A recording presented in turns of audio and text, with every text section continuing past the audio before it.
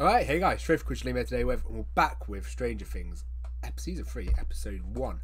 So, if you've been following my channel, I've just finished season 1 and 2 reacting to them, so feel free to check them out if you haven't. I really fucking enjoyed it, it was a great ride, and I'm lucky enough that I can just go straight into season 3 after watching the first two seasons. So, season 3, I feel like I'm going to jump into a lot more character focus this season as um, we sort of end off with all our the romance like a bit of romance at the end of the second season, so I feel like they're going to continue that into the third. Maybe have like some conflicts, and also we've got the other. We also got the other number eight. Is it um, roaming around still? And if there's any more than just that, because we just as we know, we, we know eleven. Um, does that mean there's eleven others, or is it just the one we met um, last season? I'm sure she's going to play a role into it. Basically, close the door now. So I'm curious how the villain, well, how the Demogorgons are going to affect the world now. Um, Will's acting was phenomenal. Yeah, one thing I will say about the show, the acting for the kid actors has been fantastic, especially Will. Like the way he played, like being um, took over by the Demogorgon was like amazing. His acting in that. So yeah, I'm expecting sort of a cheerful episode. This one, not cheerful, but more more cheerful episode. And then it's going to do what it usually does, where it builds up towards something. Um, I have heard this, and from the cast interviews I watched after Office season two, apparently this is going to be a bit darker. So that's going to be interesting to see what they're going to do with that. And hopefully we don't get the cursive B as we've lost Barbara Bob. Hopefully we don't lose another B this season. I really miss Bob character. I really enjoyed his character. I was quite sad to see him go. Anyway, I'm rambling on a bit now, guys. So otherwise, please, guys, leave a like and subscribe. Um, the likes help massively, and I'm trying to hit like a goal of 3,500 by the end of the year. So every subscriber will help. I'm trying to do this as quick as possible. So make sure you subscribe so you get notifications when I upload the rest of the series. But I'm really looking forward to where this could take us. Uh, season two and season season one and season two were fantastic. Hopefully season three is exactly the same. Let's jump into this.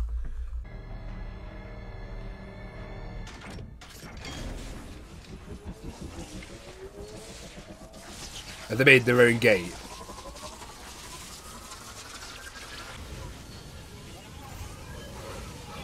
Why are they making another fucking gate? Why are they... For God's sake. I assume they're making another gate. Oh, wait. Oh, what is that?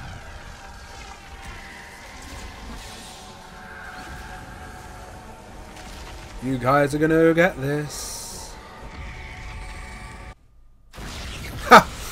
Sit down.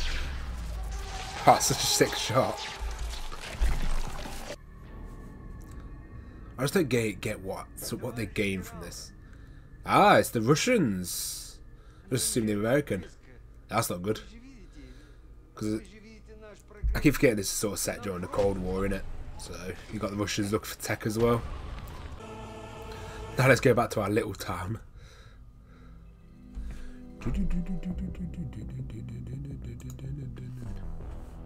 I like how it's adding Cold War, Cold War aspects into the time because of the time period to set this in.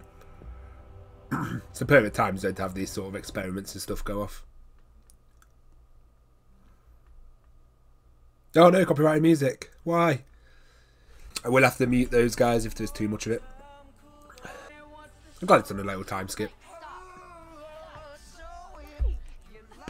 Talking normally as well. That's good.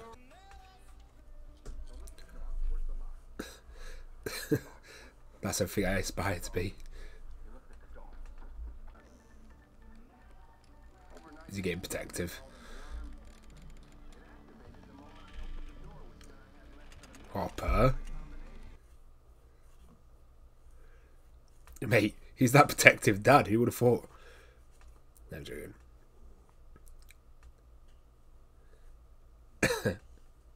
Smooth, Mike. Smooth. I feel like there's going to be a wrench in this romance at some point.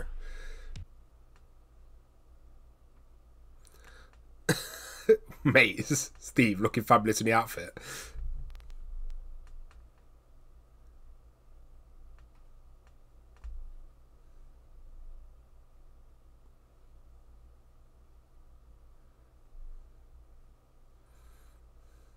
I hope he finds someone. I do like his character. He grew on me a lot in the second season.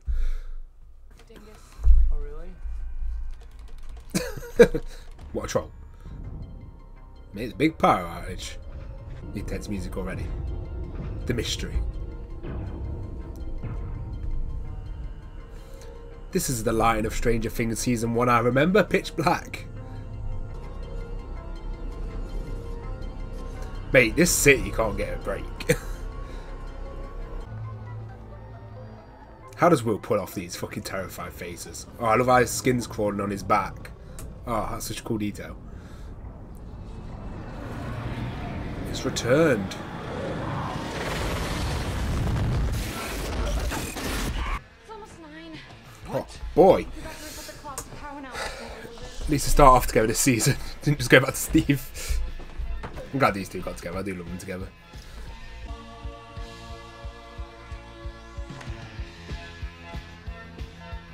No, not Bob. I miss Bob. He was such a good character. I just knew he was put in the show to be killed, though. I'm serious, Jonathan. I can't be late. You mean we can't be late? No, I mean.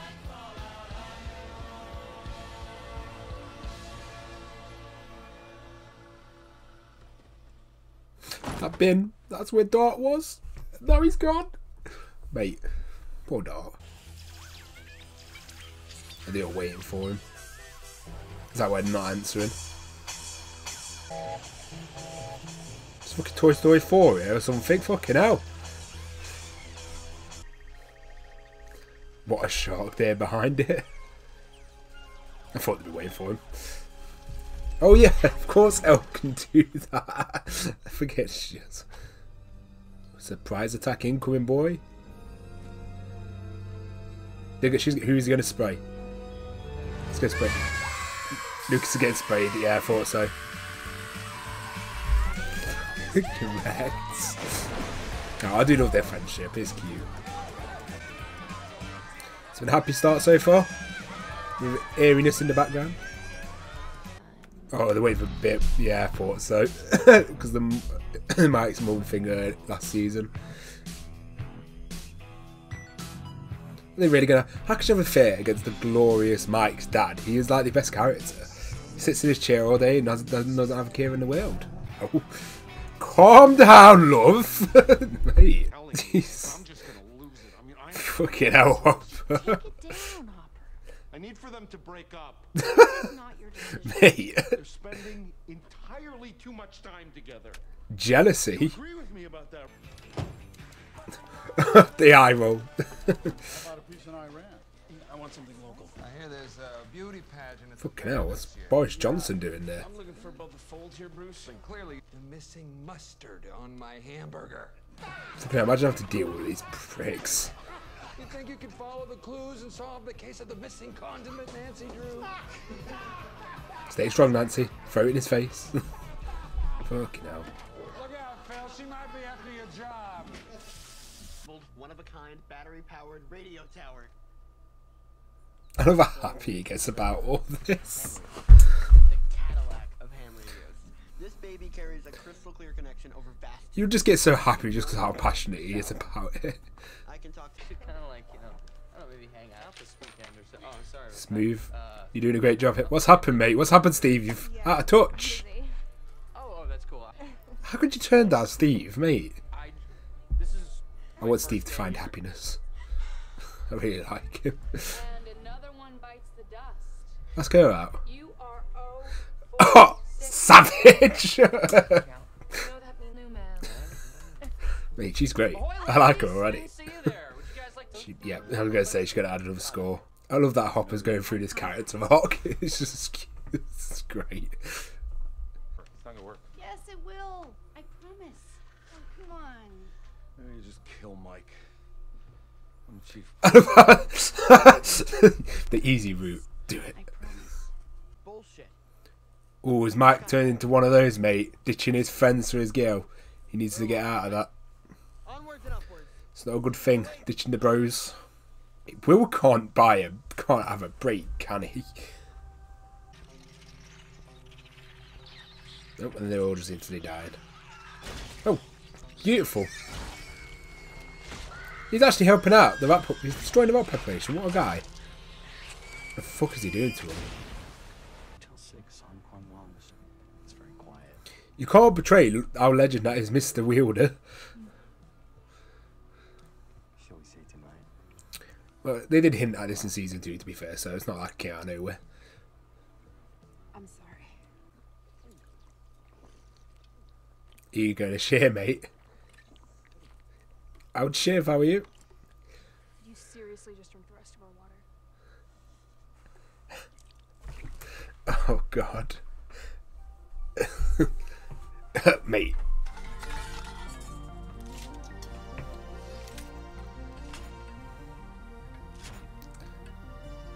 Fucking hell, guys. Could use these kids on Lost, couldn't they? She going to invite Hopper over.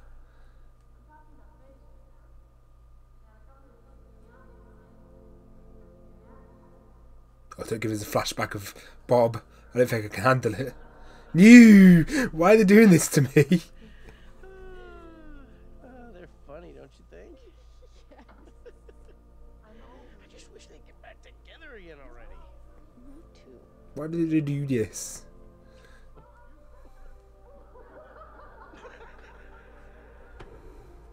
I'm glad she didn't just get over him straight away though. Just move straight on top of her.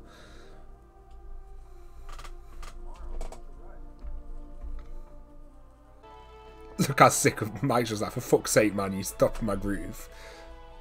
I, I just, um, Why are you making this harder, Mike? Fuck's sake. Look at the poor guy, he looks distressed. you know, Oh, he's gonna try and make a private, private conversation. If you understand. He totally stuck by a script, didn't he? Fuck's sake. I would have been Mike was being a bit of a little penis there, but fucking hell, Hopper. They are their own people. They're still up there. Oh, Lucas. exists. She exists. She's a genius and she's hotter than Phoebe Cates. No girl is that perfect. Is that so? Ooh, Lucas, careful, mate. That was amazing. Mate, Max just fucking savaging him. Man, look at him. Man's living the life. How could you portray that? He's amazing. I love the dad. Poor guy. Getting betrayed.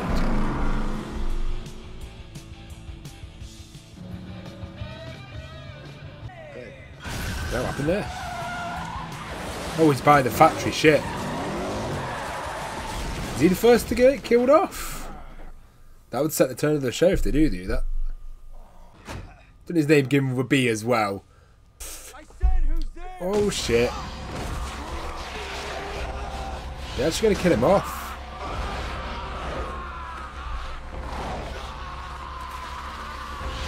That definitely sets the tone. Fucking hell.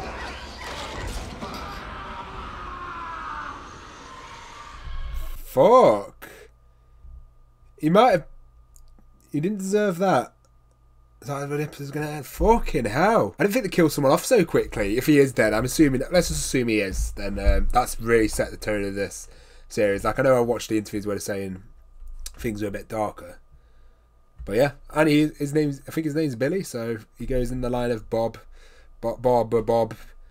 He didn't, he didn't deserve that. Like I said, he, he did the mistakes he made with his sister, he did have a lot of problems with. His, his dad obviously caused a lot of the problems. Yes, he shouldn't have took out his sister, but he doesn't deserve to die. So yeah, it kind of sucks for him that he, they are going to him off like that. But like I said, just set a nice tone to the show.